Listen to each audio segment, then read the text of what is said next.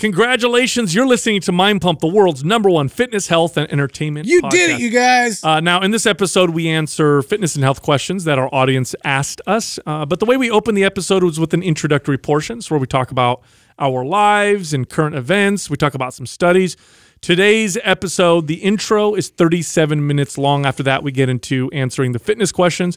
Let me give you a breakdown of the whole podcast. So, we open up by talking about the fact that uh, my wife is trying lots of natural methods to try to induce labor. As of the recording of this podcast, no baby yet. So we're yeah we're we're waiting. we are anticipating. then Adam talks about his night at home without wife and kid, and he had he brought out the bong and got emotional. So good times. Yeah. Then we talk about uh, a podcast that we listen to on economics and uh, the future of kind of what's going on, where you should invest your money. That was a great conversation.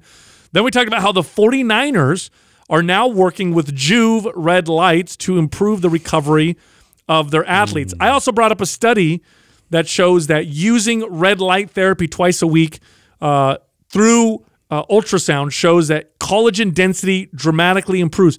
This stuff really works. It does improve your skin health, the firmness of your skin. It also helps with recovery. No joke, ladies and gentlemen, this stuff is legit. More reasons why the Niners are number one. And uh, Joovv is a company we work with, so we have a discount for you. So if you want to get your own home red light, go to joovv.com. That's J O O V V.com forward slash mind pump. And then use the code mind pump. Every order of $500 or more will get a free MAPS Prime program. Um, then we talked about uh, some of the new flavors from Magic Spoon. Magic Spoon is a cereal that you eat at home, tastes like the ones you ate when you were a kid, except there's no sugar and it's high in protein. It's got whey protein in it. It's good stuff. Um, and because you listen to Mind Pump, you also get a big discount. Just go to magicspoon.com forward slash Mind Pump and then use the code Mind Pump for the Mind Pump hookup. By the way, new flavors are in apple, cinnamon, and salted caramel. That's really oh delicious. Oh my God. Then we answered fitness questions. Here's the first one. This person wants to know what we think about plyometrics and how you can incorporate them into their routine. The next question Do deadlifts give you a thicker midsection? The third question was. Is it really necessary to take one day off a week from your workouts? And the the final question, uh, they have a nephew that's seven years old who want to start working out. Like, where is a good place to start? What are good exercises and routines that we can recommend for kids? Uh, also, we're in November, which means we have a holiday promotion. So right now we're running a ultimate at home bundle. Okay, so these are two amazing workout pro- programs that can be done at home that help you build muscle, boost your metabolism, burn body fat, improve your strength, just get much sexier, essentially. Um, the first program is MAPS Anywhere. All you need are resistance bands and a stick. Great workout. The next one is MAPS Suspension. All you need are suspension trainers. Both of them are full body workouts. Both of them normally uh, cost a lot more than the promotional rate. In fact, uh, normally you can pay well over $200 for both programs. Right now, get both for $99.99. Hold on a second, actually. There's more. Wait. We're actually throwing in one more program for free MAPS HIIT. So, MAPS HIIT is a high intensity interval training program designed to burn a lot of body fat. It's a calorie burner. So, one more time, you get MAPS Anywhere, MAPS Suspension, and MAPS HIIT, all total for the price of $99.99. Pay, Fully loaded. pay it one time and you get all three programs. Here's how you sign up. Go to mapsnovember.com. That's maps, M A P S, november.com.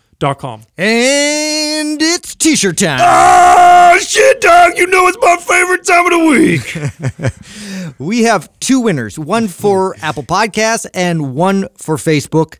The Apple Podcast winner is Mark Becerra, and for Facebook, Beth Miller. Both of you are winners. Send the name I just read to iTunes at mindpumpmedia.com. Include your shirt size and your shipping address, and we'll get that shirt right out to you. Winning. Is uh baby Di Stefano going to happen or what, bro? I know What's going on here? Oh man, it's a little. So as of the recording of this podcast, Don't we're- overcook it, you know. No, I know. It's- um, as of the recording of the podcast, we are now 11 days past uh, the due date. Wow.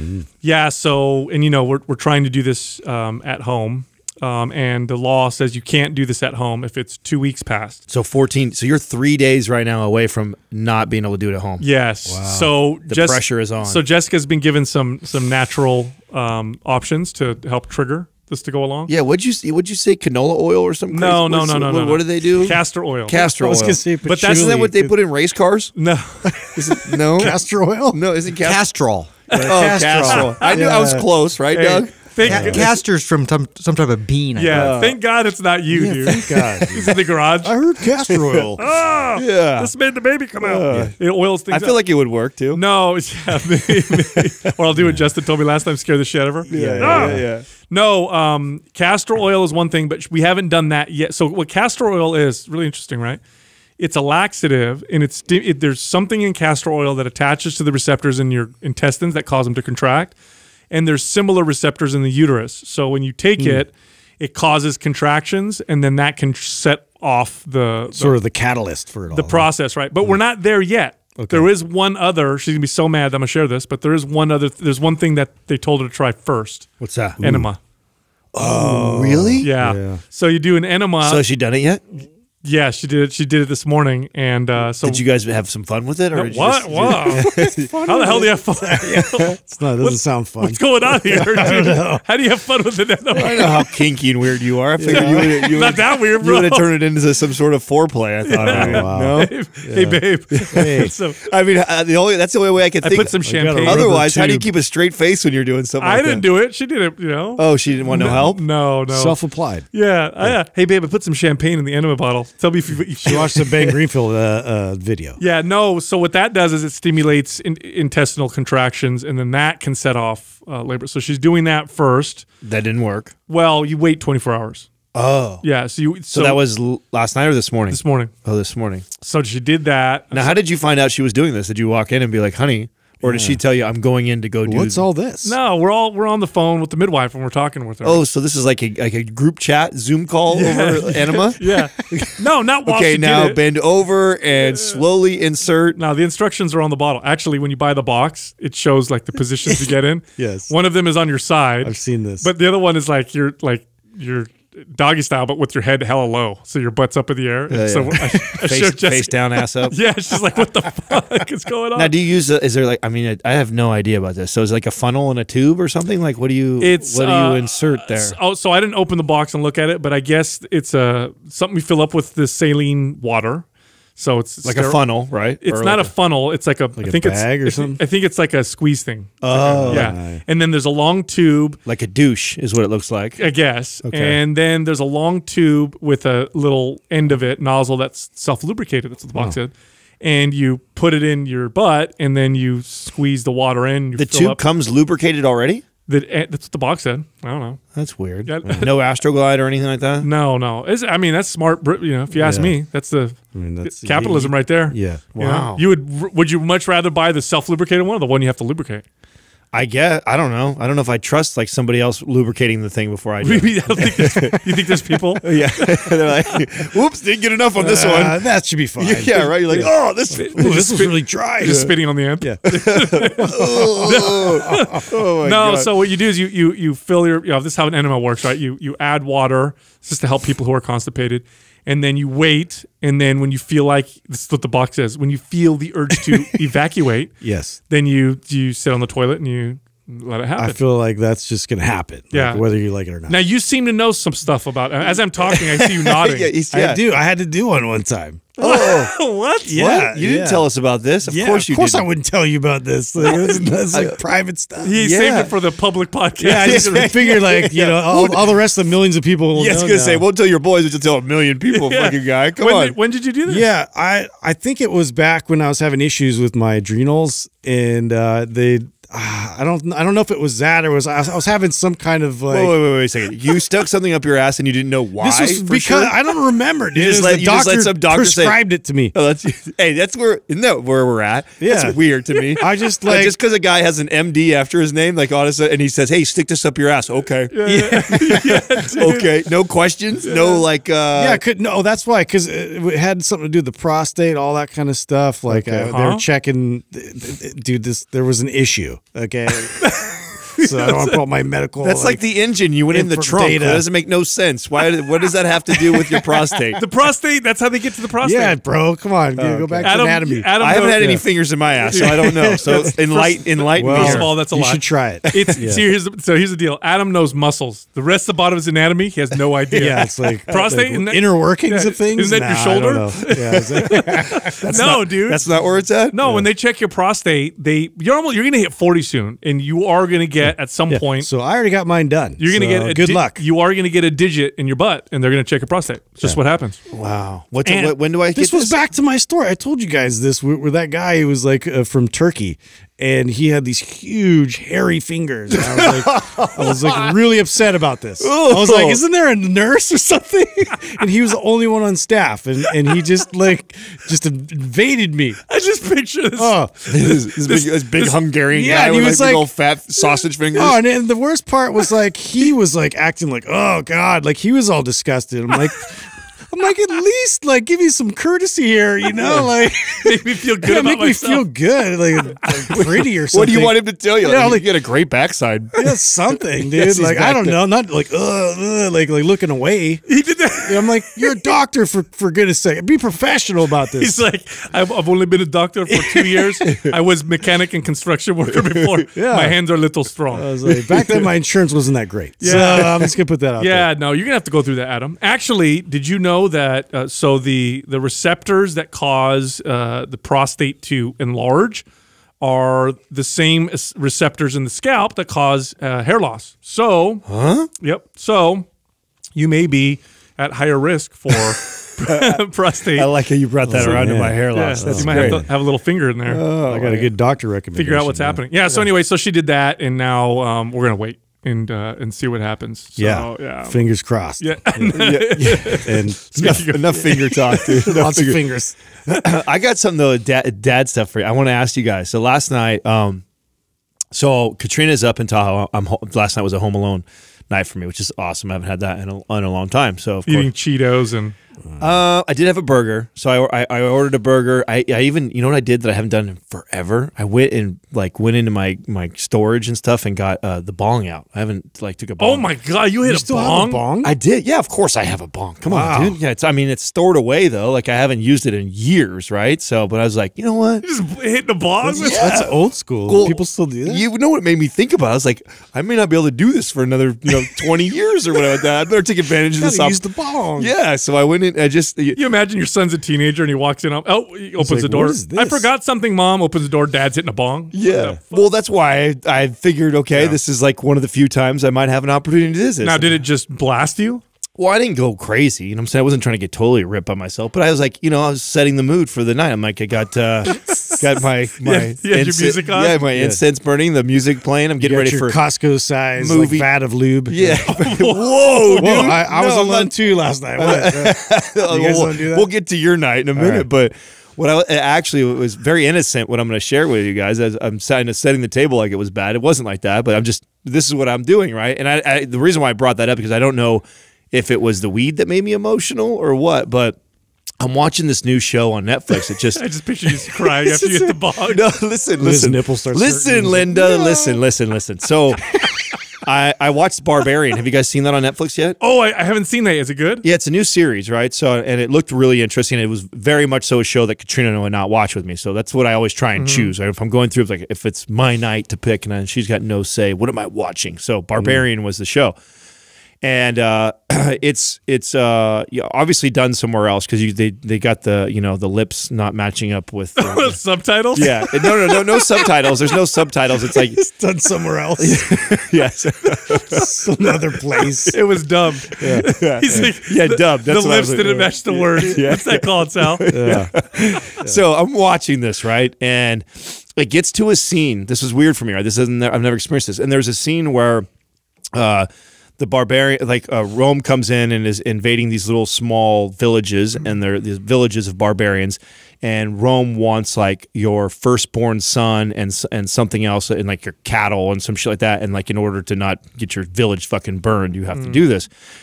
And so and I'm watching and they have this scene where the dad gives his like you know 8 month old or year old son to to them and I had never like all like I've seen I've seen movies like that that have situations like this. It wasn't the first time I'd seen something like this, oh, and I get all fucking weird feeling. It's, di- it's different. I had to turn it off. yeah.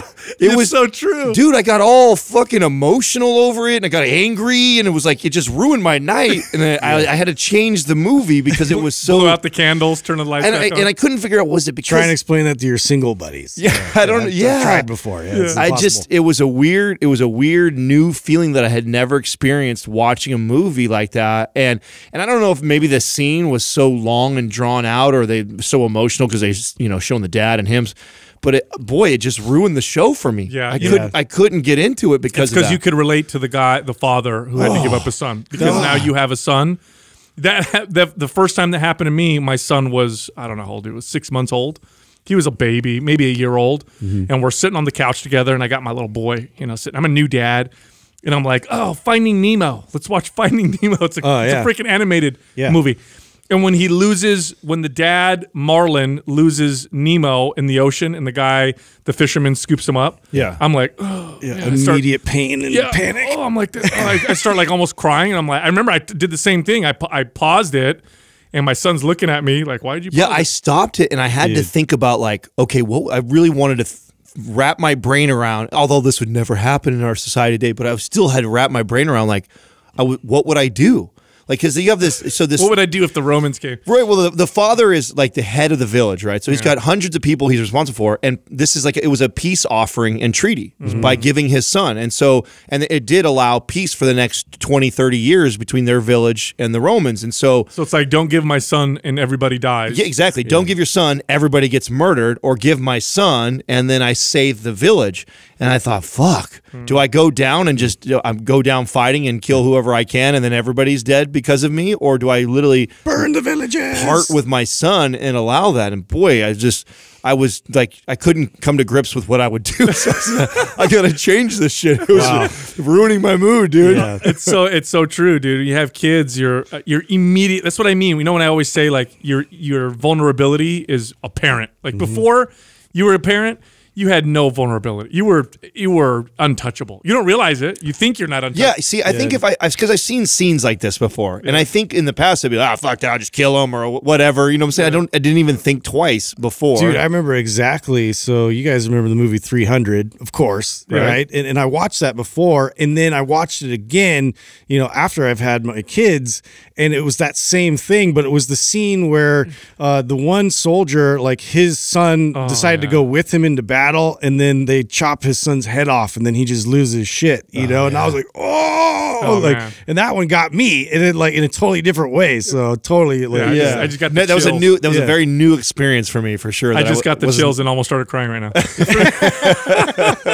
all right, funny? there's the button. I'll, You know, I'll- and speaking of drop. which, I this function on Facebook, and y- you, I don't know if you go through this, Justin, this or even you, Doug. Facebook will, uh, you know, show you random like flashback photos. Yeah. So like ten years ago, dude, you know, eight years ago, and I just got one. It was eight years ago. It was my son and my daughter at one of my son's uh, soccer games. Mm. That shit gets me emotional, and that's not even sad. That's just an old picture. Yeah. You know, and I see them when you were little. Oh gosh. Yeah, I had one of those with with uh, uh, Ethan. He was like playing guitar and like singing in his little tiny voice. You know, I was like yeah. I had to shut it off immediately. Yeah, yeah. I had to stuff that down. keep, keep the feelings away. Keep it away from me. I me. totally had a Justin moment too, where I was like, I'm by, my, I'm like stuffed that down was exactly how I felt last. night. I Yeah. was like, I can't I'm by myself. I'm a right now. professional at that. I'm trying to figure out how to not do that. What a anymore. degenerate I had to look like bong between my legs. I'm sitting here all by myself, fucking crying in the living room, like, oh my God. You're calling, calling Katrina. Can you come home? Oh my God. I don't want to be alone anymore. Oh, Yeah. God. That was so new to me. I was not ready for that Yeah, at all. that's because you love your kid, man. Well, I mean, yeah, right. I, I hope so. I hope that's all that means. But that was different Yeah. for sure. So that's it'll be interesting now as like more things like that unfold. How that I had probably experienced before, and never thought twice about that. a I, I just had a mini like feeling of a panic attack last night because I'm getting so close to having another baby and I'm just and I'm thinking about my kids and I'm realizing like I just hit the reset button. Yeah. Like I got another one. Oh my god. Like, and all the all the challenges and the vulnerability and I'm like I'm adding another one to the mix and you know, I had to uh, calm myself down, like, you know, because at the end, look, at the end of the day, it's the most, uh, for, I mean, at least for me, it's the most valuable, meaningful thing I've ever experienced ever. And part of it is because it's so damn hard. Hey, did you guys Oh, yeah. wa- did you guys watch the? Uh, I sent you all over a podcast uh, interview of uh, Peter Linneman. Did you? Oh, I, I watched that. Did you watch the that too? Economist? Yes. Yes, I did. Justin, did you get a chance? I to- watched part of. Yeah, I didn't. I didn't make it all the way through, but I watched like at least half. Did of you fall asleep? Yeah, too much. Yeah, I bit. love that stuff. I knew. I know you would- guys love it. I I, I appreciate it, but uh, Yeah. yeah. I don't get into as much. Well, as what I guys. loved about his conversation was there was there was two different times in there where the interviewer tried to take him in a direction that was he asked him a question that seemed political and he he, he called him out and said like no that's not economics that's politics that has nothing to do with that and then so I really appreciate listening to a very non-biased opinion on our economy like it's Yeah. one of the hardest things to do is to not like if you tune into a CNN or Fox News and they have an economist on there, it, he's always his messaging is aligned with the network mm-hmm. and aligned with a political message. So it's like you know, or then you even hear other guys that like if they sell gold or something and they're they're they're going to scare you into what could mm-hmm. potentially happen. So you know, so you always it's hard to find somebody that I feel gives you really good data that's not skewed to make you fear and go in one direction. Yeah, well, a couple takeaways that I thought were interesting. The the one part where he mentioned income inequality, I had not even considered. Very cool was- part. Yeah, he said, you know, he goes as societies become more advanced. Uh, one reason why income inequality will always become larger is because if you are highly skilled in a modern society, the amount of productivity that you can produce is vastly higher than it than it was uh, 50 years ago when you were educated and had skills and compared to somebody uh, who wasn't as educated or as much skill. So like today you can be and this is just efficiency. This is why the this is why uh, the economy grows and wealth grows. You don't realize how efficient you are but when you're working at your computer at your desk and you're highly skilled in in specific on what you do your the productivity that you're producing is tremendous it's absolutely tremendous so when you compare that person to an entry level worker it's just vastly uh, it's light years ahead and then of course when you are wealthy your money, if it grows uh, at the same rate as somebody who's not wealthy, you still make significantly more. For example, $100,000 growing at 10% is uh, the same percent. If you grow $100,000 at 10% versus $10,000 at 10%, both grow at the same percentage, but you got way more money at 10% and $100,000. It's just a larger number. So you add those two, two things up. But the other thing that he said that was really interesting was how all these all the money that they're injecting into the economy um, through you know quantitative easing, right? That's what they call it, where they're just basically printing money to make things more what they would say liquid.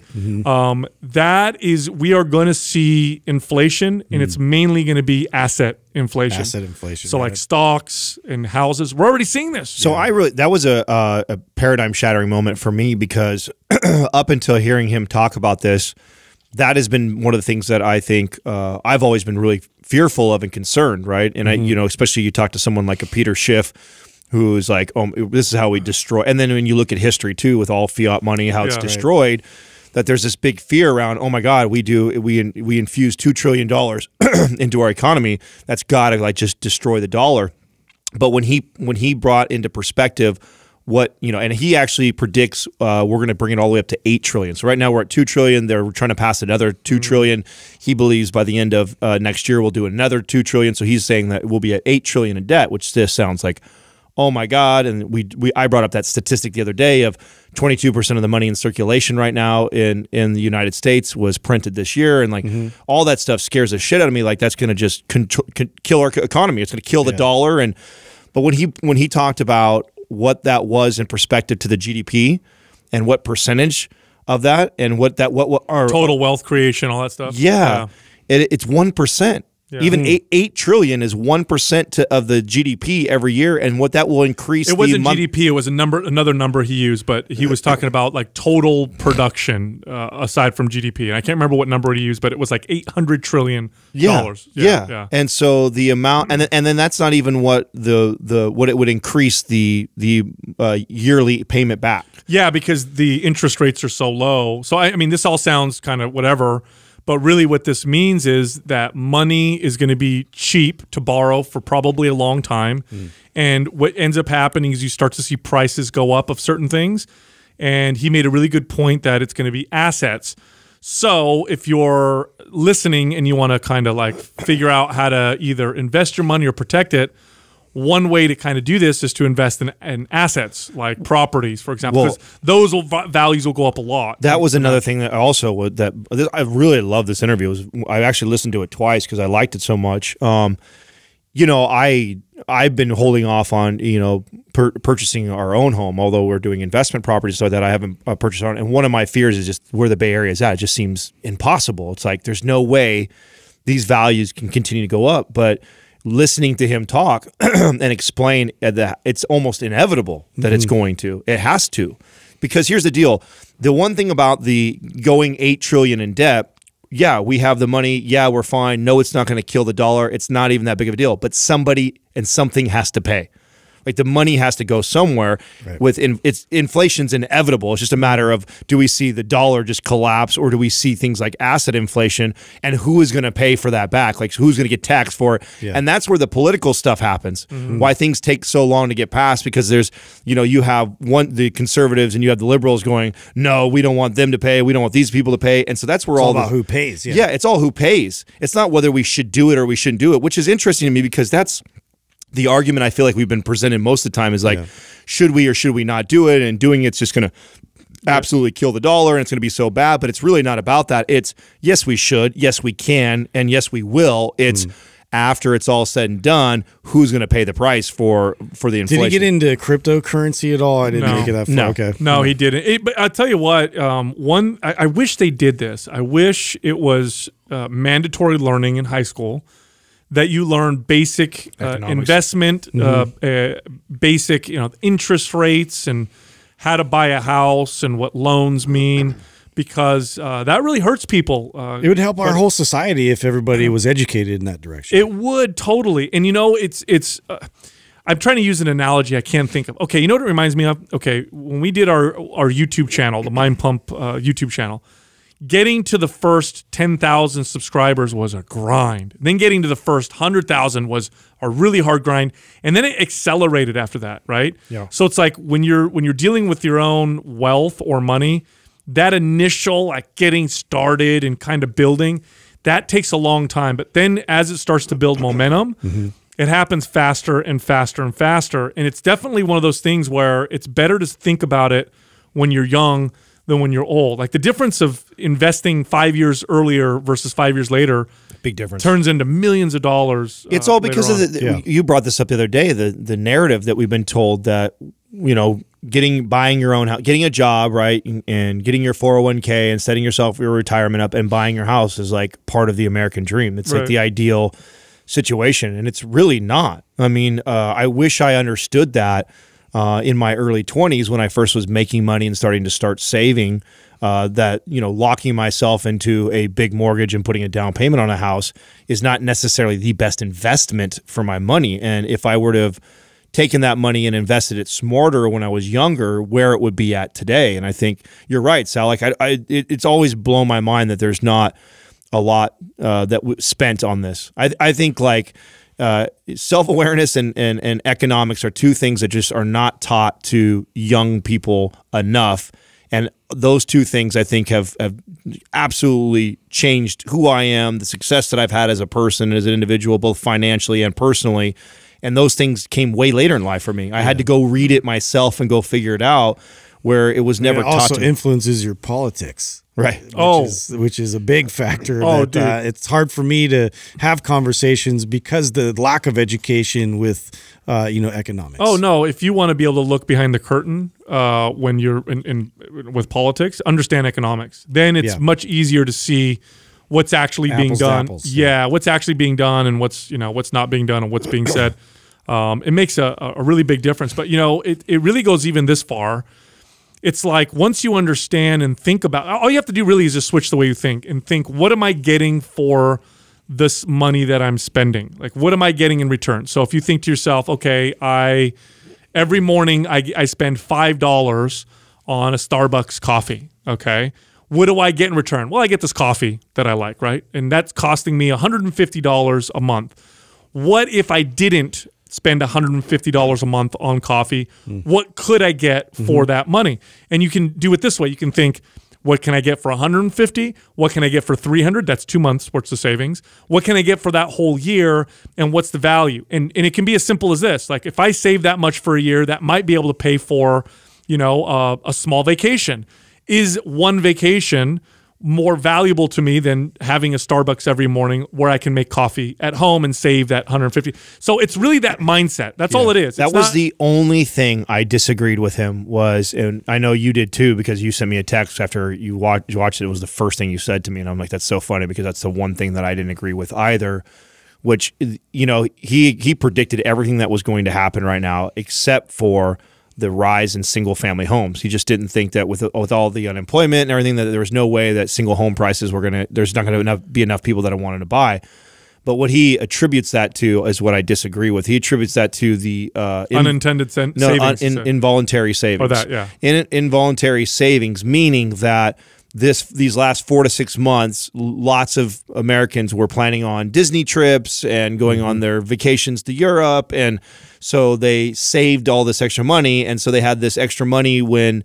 You know, it came time around right now to potentially buy a house, and because interest rates are so low, they said, "Oh, instead of you know, we didn't spend any of that money on on uh, traveling, so now let's buy a house. Yeah. I don't know if I don't know if most people, or at least most people that I know, sure, it wouldn't I- make that big of an impact. yeah, would- exactly. Yeah. Like so, at at least in my big leap. at least here, right? So where we live, um, and the friends that I have, like, and I, I have too. Like, so there was definitely involuntary saving for me. Like, I I don't know about you guys, but I didn't spend a lot of money in the last five, four to five months. I, I saved. I saved more than what I would would have been able to because I'm normally traveling and doing things, but not enough to to sway me over to like, oh, now I'm going. But I also recognize that that's m- where that's my circle. I'm in the Bay Area, so uh, two vacations canceled is not enough for you to have down payment. But maybe somebody in the Midwest, you know, who always every year goes to Europe or does something like that, you know, that's an extra ten or twenty thousand. Well, a hundred thousand dollar house. You only what do you need? Twenty grand. Right. Yeah, So, so maybe. Yeah. So so maybe you know the, the like the rest of the the uh, United States, but I felt like for us, I was like that can't be Yeah, true. but yeah, us. it's that mindset, right? It's that whole mindset. What am I getting for this? Uh, what kind of value am I getting in return? You know, like I want to buy a nice car. Is that something that I'm going to get a lot of value in, or Mm-hmm. do I not really care? And would I prefer to take this money and spend it in other places? And I think if we think that way, we'll, we'll make better, healthier decisions. Um, and then, of course, the, the side effect of that is the market starts to reflect. I just So- think it's crazy that he he's claiming that it the you know we're going to see an asset run the same way that we saw after 07. So in like 08 09 with the So we'll see stock market continue to go up. Yeah he we'll says that you know, stocks housing all that is going to wear you know office space all those things are going to you know once we kind of and he said you know what he can't predict is when right he thinks for sure all of next year we won't be back to completely normal he says it won't be until uh, the until we're moving into 2022 before we he thinks we're going to be fully recovered Probably because uh, I don't know if you guys are watching right now with the coronavirus. It's uh, spiking again, right? Well, it, predictably, it's predictably spiking again. So I'm sure we're gonna. And in Europe right now, they're starting to, to talk about lockdowns again. Yeah. And people are like, no. Yeah, wasn't he he like telling you to pay attention to the stadiums and like the, the how full they were and whatnot to see where we were in terms of our economy? Yeah, he said, that, uh, which I think is a great indicator, right? Like you're seventy thousand fans in a in an NFL game or whatever like that, and when you see everybody in there, and what and you know people are more comfortable. that's and that's what he what he means by that is this is that even as the economy starts to open back up, uh, even as we get a vaccine, even as we start to get better treatments for all this, there's still going to be a lag time when everybody feels really comfortable about True. it. Like it's the the the storm will have to have passed for some time before everybody comes back to normal. I mean, even myself, like I, I'm definitely not somebody who is as afraid of this uh, the situation we're in as, as some of my friends are. But it doesn't mean I still don't take a bunch of precaution. You know, I'm still not. I'm not going to the movie theater. I'm not going to you know events that are enclosed. And in fact, the other day, for the first time in you know almost a year, I went to the mall. You know, and it was just a weird experience. Like I haven't I haven't done something like that, and I was doing it specifically because we have Katrina's birthday coming up, so I wanted to go there. Otherwise, I wouldn't be there. And so uh, there's going to be a lot of that. There's going to be a lot of people that are going to choose not to go to games. You know, because they don't need to go to games right now. And so as you start to see society get more comfortable with that and when it's filled back up again he says that that will be like our indicator that it's back to normal and then we'll see everything start to rebound Well, makes a lot of sense. Now there's a there's a wrench in that too, which is, uh, and they were talking about this. The World Health Organization was talking about this that people are having uh, like virus fatigue, and I don't mean virus fatigue like they got sick and they're tired, but rather they're fatigued with the fear, precaution, with with the everything. precaution. Yeah, mm-hmm. so a lot of people are like, I don't care what happens right now. I don't want to go back and do the lockdowns and stuff, and and they're finding it hard. I know in Italy there were protests mm. because they they you know the cases went way down. Italy had some of the strictest lockdowns. Yeah. Now the cases are spiking like crazy, and people are like, I don't. Nope, we're not going to go through with this anymore. you know justin you brought up the nfl did you see Joovv signed with the niners I did see that. I was super excited. I was like, uh, on on the Niners. I actually saw them post about it on Instagram. I got like excited, commented on there. But they have, they're the first NFL team to actually adopt uh, Joovv Red Light as, as a as a valid recovery in therapy. And so they have it all set up. So they got these big panels uh, after they go through their workouts, they go through their practice. that can go stand uh, in front of these panels and you know get the active recovery. from There it is, right Oh, there. Look sick. at that. Okay. it's so badass. Dude, it, it okay. So it legit works. I know it sounds crazy. oh and you wouldn't see an nfl team doing it if it didn't Yeah. Right. they're always on cutting edge stuff right It, it for no, it for real works. In fact, there was a study. I'm going to pull it up here. So they did a study. So all the studies so far that I've seen um, on something like skin, right? People will use red light therapy. They'll do it two days a week or three days a week, and a dramatic, a, a big majority of them will say that they noticed uh, significant changes in their skin, or the scientists will say their skin looks a lot better. But it's all I mean, that sounds very subjective, right? My skin looks better, your skin looks better.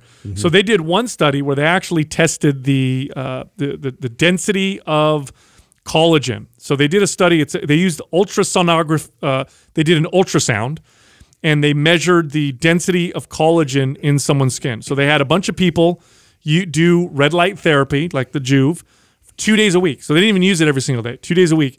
And there was a significant increase in collagen density in the skin.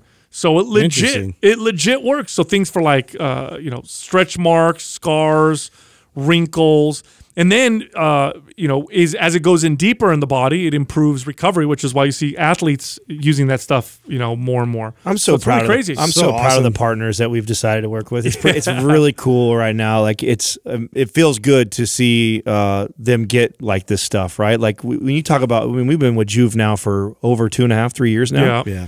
So, and I remember when we first met him and we learned all about it. Like, so it was very cool to see. You know, we were the first podcast. They were, we were like their first advertising. They weren't even doing any advertising when we mm-hmm. first uh, linked up with them to see what they're doing, what uh, Vuori's doing, what Felix Gray is doing. Yeah. Like, Magic Spoon. I was gonna bring them up, and on my night by myself, you know, like I got to like treat, have a treat, and it was like nice because I could just go grab a bowl and sit and watch. I watched uh, Deadpool two, and I was eating some blueberry, and but I saw I got an email. They have two new flavors. You guys even know about these, dude?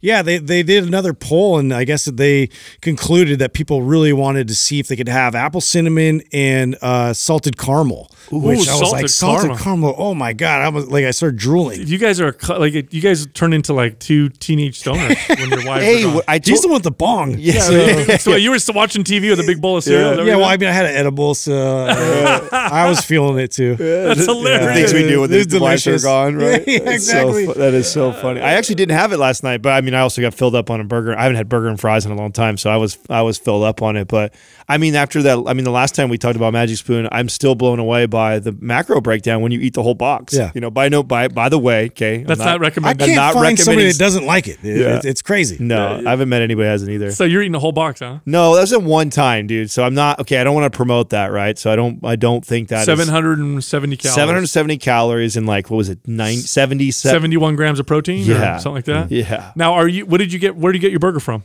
Five guys. Oh, it's always Five Guys. No, not always. I mean, if I so In and Out doesn't deliver uh, on DoorDash, or else I would do In and Out. But In and Out doesn't do that. You know, we that? had. You know, we. Had, I didn't know that. Yeah. You know, we had last night. Uh, do you guys ever eat uh, Peruvian food? There's a. Yeah. Did you? There's one over by the No, the mall. what? The one one of the What does that look like? one over by the uh, mall. That's amazing. Over by Valley Fair, Is it the? Is it? off uh, of West, uh, off of um. God, I can think of the street right I now. I think that's the place that we always go. yeah, that's the one that's well. so there's a dish called lomo saltado. Do you? Is that the one? Is that get? that like the steak and potatoes and So like, there's like steak. Carrots. There's uh, French fries, yeah, yeah, rice, yeah, and this That's like my favorite dish. this like brown sauce and, so and it- good. but it's like comfort food, dude. Oh, yeah. so we had that last night. oh. Yeah. Good fall food. Oh, bro, I crushed. Did you have it delivered or did you go there? No, they were closed. So I found another. So we actually. So here's the deal. Okay, pregnant wife had a craving. So we drove an hour away and went up to Redwood City. That's right. You're bound to that. Your family. is- That's like you drove law. an hour to go get it. We almost right. So Redwood City. So it took us like forty something minutes. Oh So, my yeah, God. And we we had some uh, some Oh, that's, that's hilarious. Yeah, I just have I. You know what? I actually haven't even asked you about her. Has she had any weird, real cravings? Is she Uh, doing something? you know. Let me try and think right now. Katrina yeah. was crazy with the oranges. Dude. Okay, so here's a weird one. So she'd never, and I didn't know this about her, she'd never had kiwis before in her life. Never had kiwi. Oh. So she was sitting there one day. This was like, I want to say month and a half or two months ago. She said she was at home and she just got a craving. This is what's weird about it. I love for kiwis. kiwis, but she's never had them before. So she was at home, had a craving for kiwis, had to drive to Whole Foods and Did you buy. see a commercial or anything, or this was just like a random thought? It's so weird that her brain literally said to her, "The this food you've never had before is what you crave." That is so strange. Yeah, this is bizarre. That's how the oranges kind of work for Katrina. Katrina never ate. I've never seen Katrina eat an orange. But at least she's so- tasted an orange. right, right. Of course, it's not that foreign to her. So she went to the store and bought kiwi, like the sliced kiwis at Whole Foods, yeah. so good. and it totally hit the craving. And then she'd eat them every day, Wow. basically since, which I thought was What a trip. very, very, very strange. Never ate them before. So Oh, that's wild. First question is from Kai Lovecraft. What do you think about plyometrics? How can I incorporate plyometrics and functional training into my routine? This is right after uh, geometry and algebra. Is that right? I know it sounds I was- also like a I was- supplement. I you was terrible at this. I'm Yeah. taking a lot of plyometrics. Absolutely terrible. Yeah, no, you know what's funny? My my mind has has changed a little bit on this uh, relatively recently. Uh, talking to our good friend uh, Joe DeFranco, and of course, like anything, right? And this makes perfect sense. Like anything, there's varying degrees of how you can apply it and how hard you do it, right? So, like if someone says, "What do you think about heavy lifting?" Well, heavy lifting is all relative. It depends on the person who's doing it and what the context is. And what might be heavy for my grandmother is obviously going to be very light for me. Uh, but challenging the body that way, is- there's going to be benefits. Same thing with plyometrics. And what he said to me was, which rang totally true, is if you stop training a particular skill, you'll eventually lose that skill. Now, I've experienced that myself. You don't use it, you lose it. I have. I've experienced it myself where I go to the park and, you know, I'm playing frisbee with my kid and I go to jump and twist and mm-hmm. I feel like it's not, I'm not moving like I think I could. And it's because I haven't trained jumping or twisting or those type of explosive movements. So plyometrics, from a health standpoint, train them appropriately and properly is to be able to maintain that kind of movement. If you want to be able to, you know, if you if you miss a step and catch yourself, or if you want to jump off the curb or jump down uh, off of the you know the, the, the back of your truck, or you want to you know reach up and grab something real quick because someone throws something at you or whatever. Plyometrics helps you maintain that ability. Now, from a advanced point of view, uh, plyometrics improves explosive power. And plyometrics activate fast twitch muscle fibers better than almost any other form of training. Now, why is that? Why is that important? Well, fast twitch muscle fibers are the muscle fibers that grow and build. And so, if you're just interested in overall fitness and want to build muscle, so long as it's done appropriately, plyometrics will will, will send a, a very loud and different signal to the muscles to build and grow. Well, it's also about maintaining abilities. Like, uh, and, and I know that uh, not everybody wants to be an athlete. Not everybody wants to uh, be able to uh, move super explosively and sprint on command or slow down really eff- efficiently and effectively and change directions. But um, you can take elements of that to your average person and really benefit uh, their lifestyle uh, substantially. So, like you give examples of when you're reaching back for a car really quickly to, you know, brace something, or uh, you know, somebody something falls from a shelf and you have to react like super aggressively. And if you don't have, if your body doesn't recognize how to react in a situation like that, this is just one of those instances where you will uh, suffer the consequences of that. the The body's going to have to adjust and react how it's going to adjust, and a lot of times it, it, it will get injured as a result because you're you're neglecting this side of training, which is definitely a component. The other thing to plyometrics uh, to to consider. I mean, this is this is one of those where it's it's at the pinnacle of your training in terms of like what attributes you're trying to uh, achieve. And so I look at it as you know this is sort of like a testing grounds. Like even if it's just like your average person that's been training their way up uh, the rungs to get to a certain point where now if you move explosively, you have to have put in all that groundwork to be able to stabilize and and get your body under control as quickly as you were able to uh, explosively move into that position. So it's it's a good test uh, as well.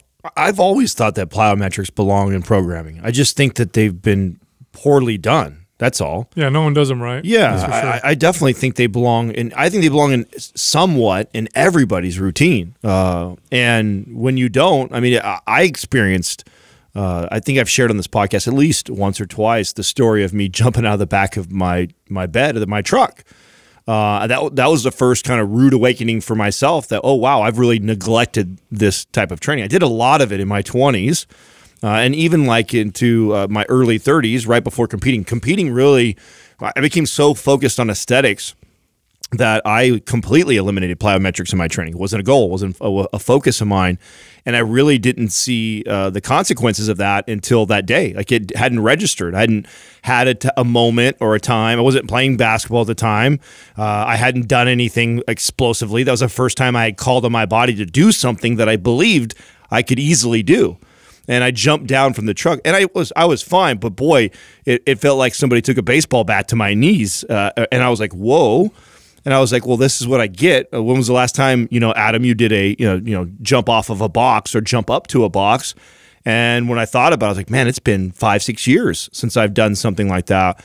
And that inspired me to get back into incorporating it into my training. Now, it doesn't mean that you like my training all of a sudden turns into this you know, explosive, plyometric, circuit based lifting routine all the time. It just means like, hey, I need to have some jump boxes in there or where you step down from a jump box and and work on the deceleration of the of the squat or the jump or some sort of explosive lateral movements with the tube or something like that because you don't want like Justin alluded to eh, you don't want to lose it. If you don't want to lose those abilities on things that you may do in real life, then yeah, then it belongs in the program. It, I just we need to talk about how it's poorly programmed. And the way it's poorly programmed most commonly is people do it to fatigue.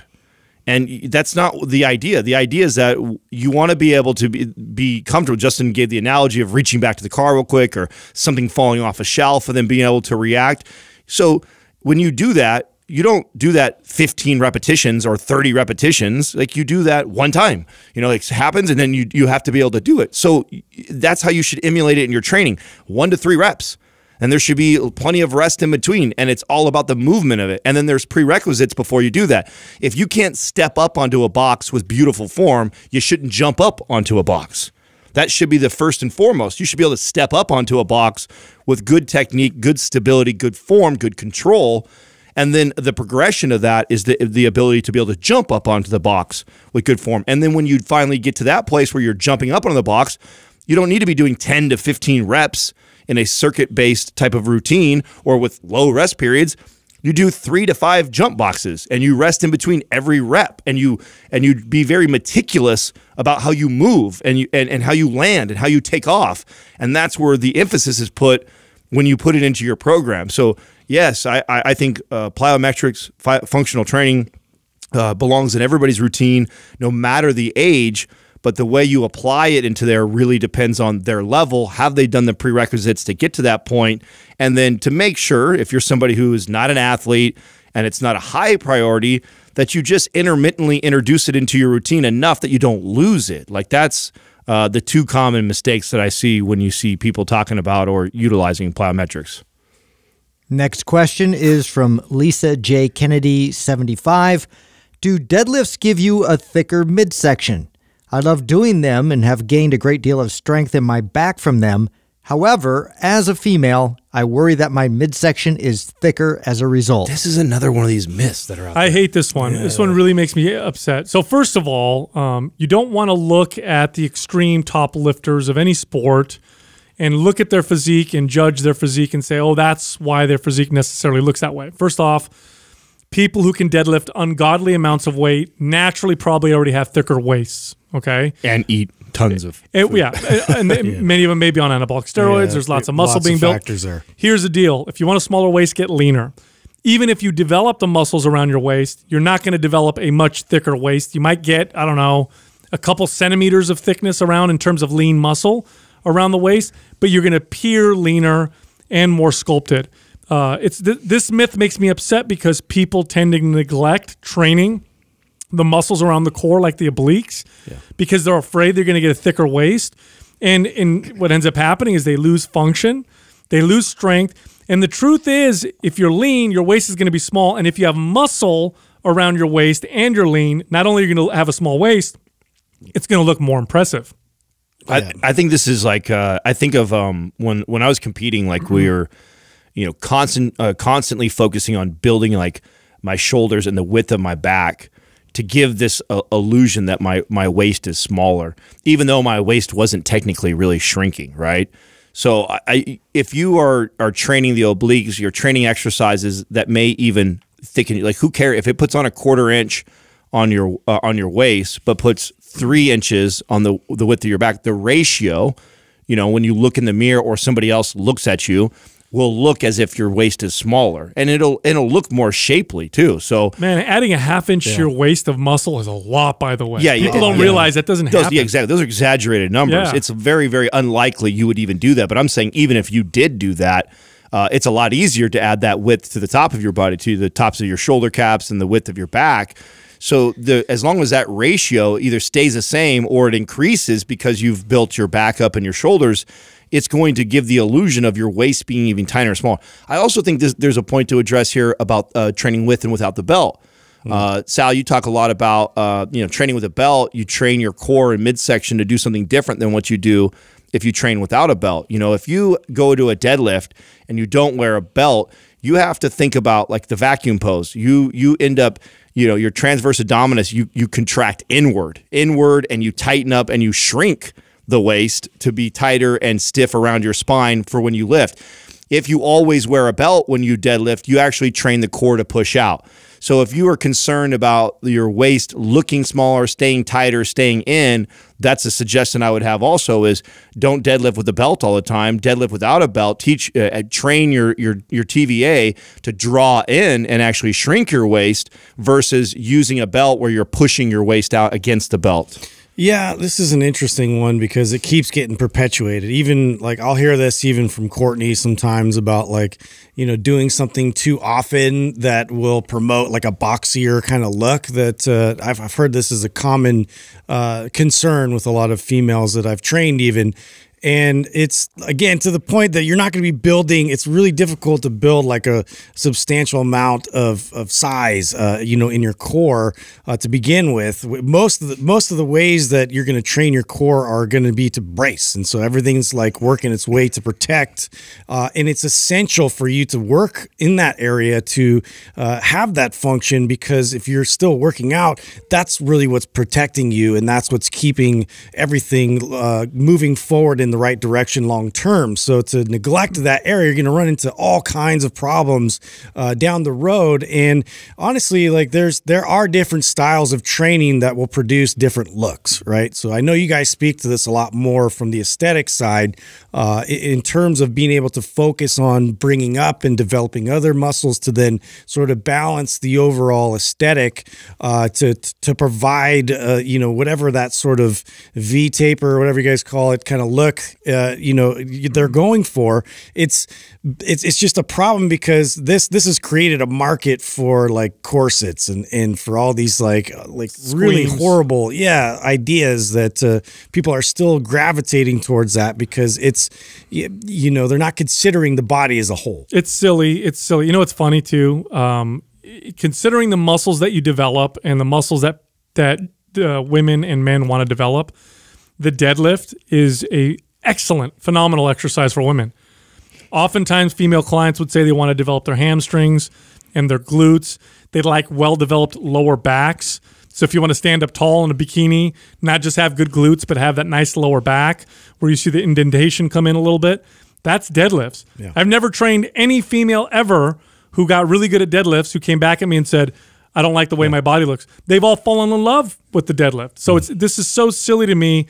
This is a myth perpetuated by extreme bodybuilding, in which case I would not take much of their advice because it doesn't apply to most people. In fact, it's it's unhealthy advice for most people, mm-hmm. men and women. It's even bad for good- bodybuilding. I yeah. used to scoff at all my peers that that thought this way. I deadlifted all the way up into competition day. Yeah. I I mean, and to your point about the back, I mean, you your erector spinae looks kind of like abs on your back. So doing things like deadlifting gives you this this great definition. It creates those canals and that little dip. So even if it added again a, a quarter inch to your waist, you'll have this illusion of it dipping in and being more aesthetically pleasing. So don't eliminate that exercise in fear of adding a little bit to your waist. That's a ridiculous notion that's been I think been perpetuated way too long. Yeah, I think they're canals. Is it canals or canals? Let's go with Canals. What did I say? What did I say? Canals. Canals? Canal- Canals. cannolis. Canals. Canals. More of a now. It's like pillow, pillow. I got my canal. lisping going on over here. Yeah, yeah. Uh, yeah.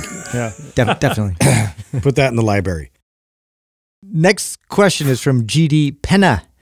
Is it truly necessary to take one rest day a week? For instance, how about alternating between full bo- body strength days and cardio? No, it's not necessary to take one day off a week. It is necessary to modify your intensity and activity to allow your body to rest and recover. However, uh, under most circumstances, um, your body recovers better when it's active than if you're just sitting around laying in bed. Yeah. Now, this was, uh, you know, I believe this uh, the opposite to be true when I was younger because I thought, oh, I have to like totally rest so my muscles can recover. So I would like have this crazy hard workout, and then I'd come home and sit on the couch purposely and be like, don't move, let the muscles build. Let them grow. Yeah, it doesn't work. In fact, not being active can hamper recovery and can cause the opposite to happen. When you don't move, you're sending a signal to your body that says, we don't need muscle, we don't need strength, we don't need fitness. But you do need to modify your intensity. You can't train super hard all the time. Of course, this is depends on the individual and their, their fitness level and their recovery, but you can't push your body to its limits all the time, day in and day out, because you will run into problems.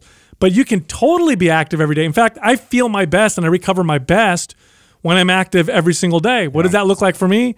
Three, typically three heavy workouts a week, two lighter workouts a week, and then two days a week where I'm doing things like walking and hiking and maybe mobility work and playing with my kids at the park and that kind of stuff. But I don't have necessarily days where I'm like no activity, no exercise. I need to recover. Netflix unless I've unless I've really overdone it and I feel like I'm on the on the verge of getting ill, in which case I will not do anything. I love the idea of you know going to the gym seven days a week. I just uh, not just because uh, I think I felt my best during those times too, and I'm not right now. By the way, it's uh, and I'm also not nowhere near the best shape of my life right now. I- I think that uh, for the for the mental reason, uh, for creating a good habit, I like to teach clients this. Like just you make you carve an hour out a day that is your day to work on yourself. That's just it. Mm-hmm. But you, you like to Sal's point, you you modify the intensity. It doesn't working out or exercising for your for your health or for overall performance, whatever you're looking for.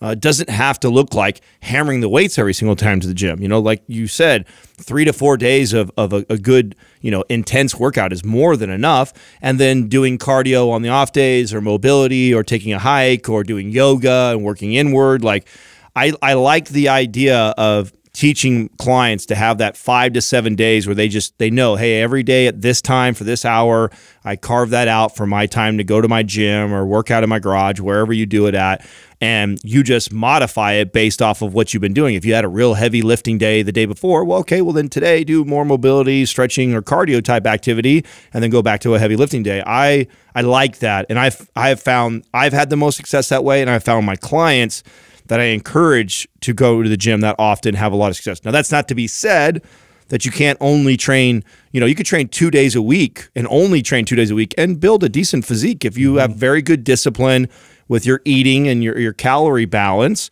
Um, you could build decent amount of muscle, you can burn decent amount of fat and and shape a decent body only going to the gym two times a week. But I think that it's more consistent and you get more bang for your buck just getting in the habit and the routine of always having that hour of exercise, just changing and modifying it. Yeah, like Sal kind of said in the beginning about uh, working out really hard and then having to dedicate like a whole day of just rest and not movement. Like I used to run by that, especially on the weekends, which is then going to leave me open to, you know, the weekends you make decisions where you're going to eat a bit more calories, you're not paying attention to all these things, you're you're you're resting, right? So th- this is where all the the magic happens where you're, you're building muscle, but it it, it, it took me to the point where I would get to Monday's workout and I would have zero motivation. I did not want to move, and I had to overcome every week. I had to overcome this, uh, th- this, this sort of block that I put in front of me in terms of being able to now generate that type of momentum to get to produce a better workout again, and then repeat the cycle all over again.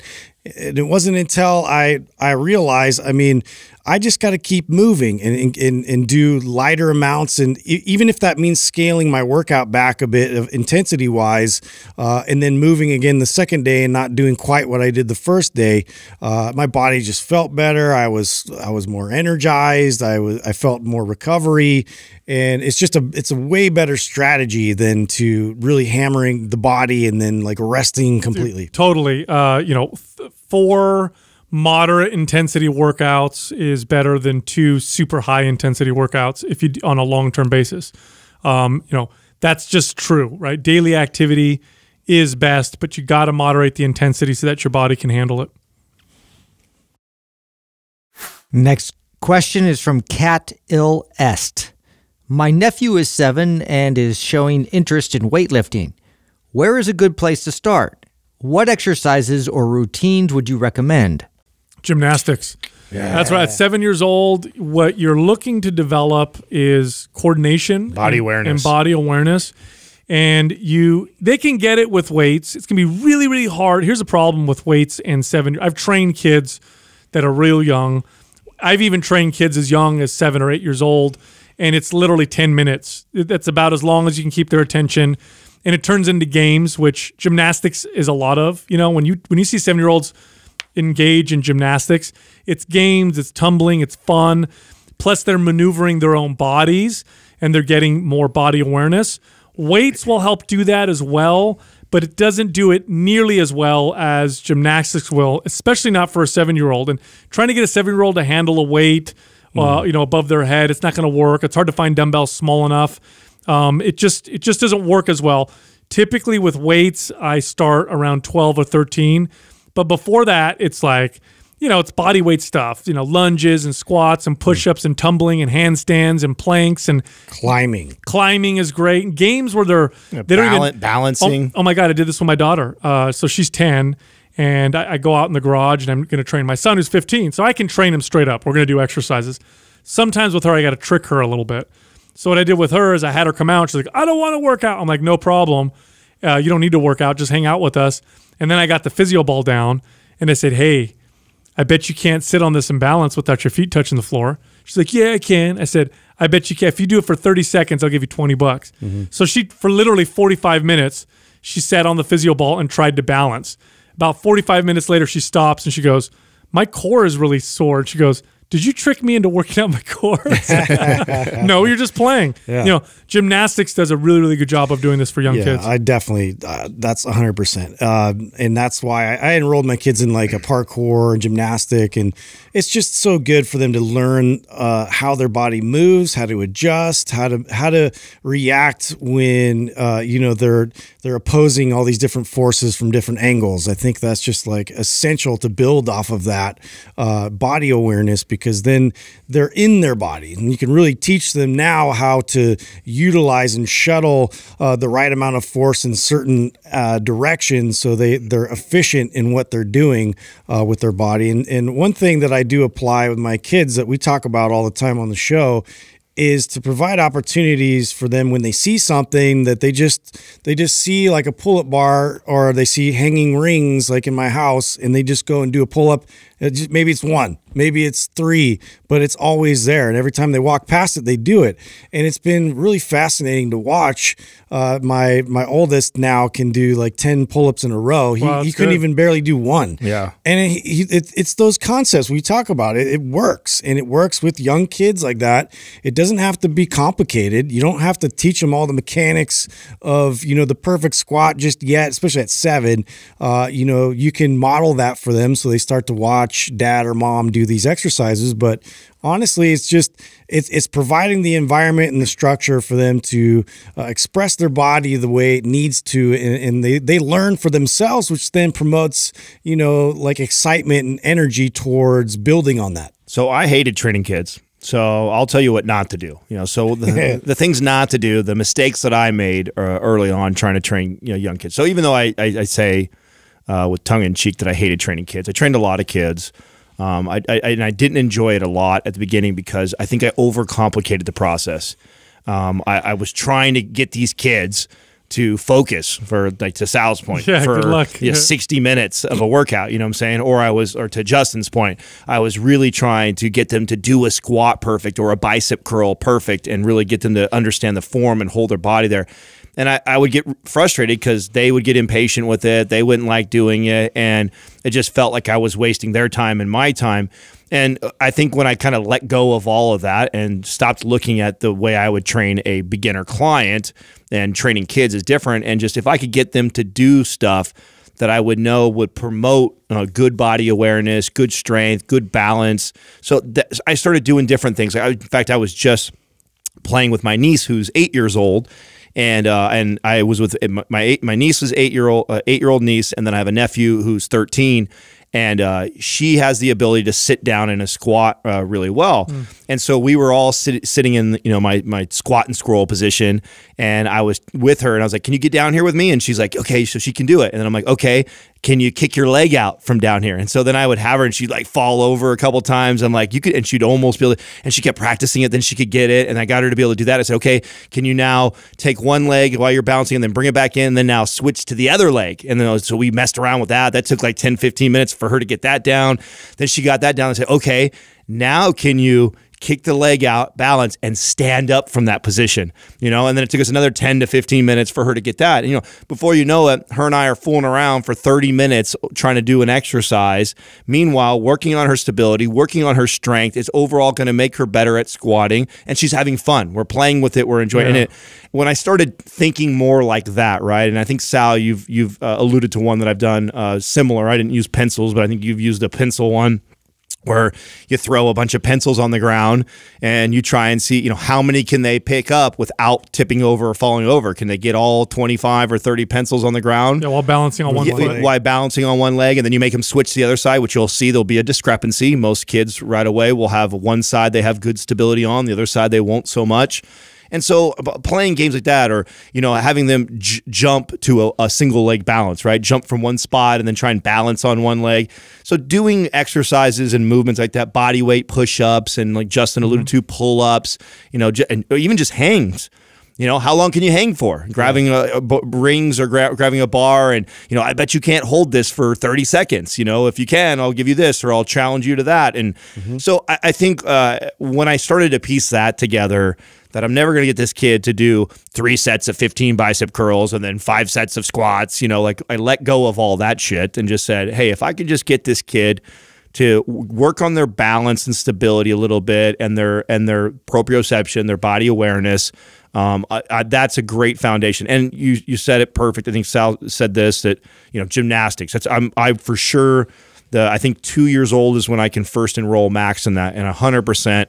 Uh, I will put him in gymnastics just because I think just for that reason. It's not that I hope that he becomes some you know major gymnast one day. I just I understand that that's probably one of the best things that you could take a kid through uh, to lay the foundation for any and all other sports pursuits, including weightlifting. Totally.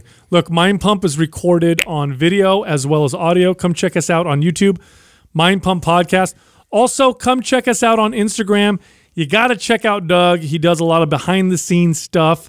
So if you want to learn about podcasting or see what kind of socks Adam wears when we podcast, um, check him out. Go to uh, Doug's Instagram page, Mind Pump Doug. You can also find your hosts on Instagram. You can find me at Mind Pump Sal, Adam at Mind Pump Adam, and Justin at Mind Pump Justin. Yeah. And so I'm taking the test and doing the whole thing, and I'm working in the bank, and and I found myself uh, half the time I was in the bank talking to people about fitness, talking to people about nutrition, giving people workouts. My coworkers, the the people coming into the bank, like this is what I was talking about